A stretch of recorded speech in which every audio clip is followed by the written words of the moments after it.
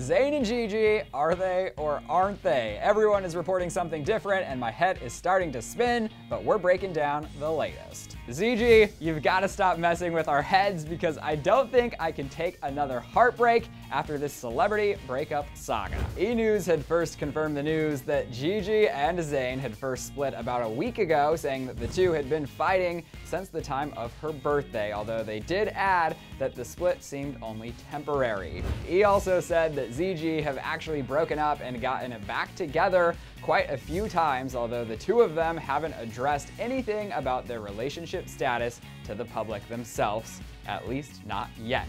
Today headlines are reading Gigi still wants to make it work and Gigi addresses the breakup rumors along with Zayn flying solo after leaving Gigi's apartment on the amfAR red carpet. So what's the dealio? Well, honestly, we have no idea for sure, but from what we can speculate from multiple different sources is that they are a thing if they're in a relationship or not, and the two are conversing and seem to be having a rough patch. After E broke the story that the two had split, Us Weekly then reported that they did break up, but they got back together right away, saying that right now it's back on, but it could be off again in an hour. I say just let them live. They're both young and probably just going back and forth. I mean, I can't even decide what I want for dinner, let alone in another person.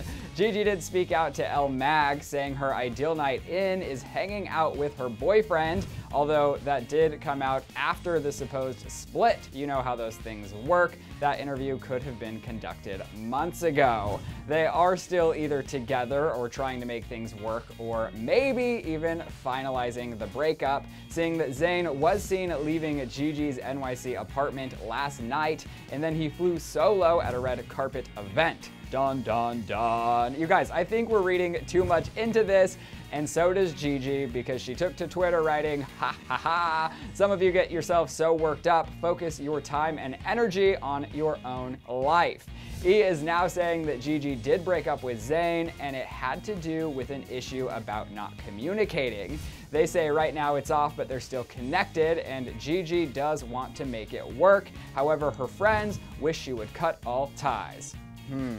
And then there are some who believe they never even broke up in the first place, which would mean all of us wasted all of our time worrying about a breakup for nothing. Anyways, I want to know what all of you guys are thinking because let's be real, that's what's important. Get to talking in the comment section below. Subscribe to our channel and then you can click right here to check in with a new beauty tripping where the girls learn to twerk. Yes, queens. I'm Ryland Adams. Thanks for hanging. See you soon.